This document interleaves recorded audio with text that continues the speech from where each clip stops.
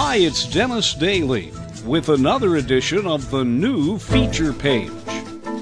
We're in Redondo Beach, California, talking to the man who portrayed Mr. McFeely on Fred Rogers' Neighborhood for decades, David Newell.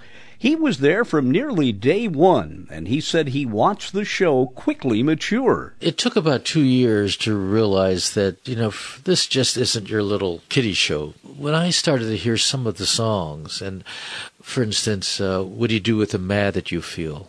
it was telling children and anger you can be angry there's nothing wrong with being angry it's what you do with that anger you don't hit somebody and that's in a song and, and in some ways i hope that children hear that. And david newell mr mcfeely continues to keep the fred rogers tradition alive.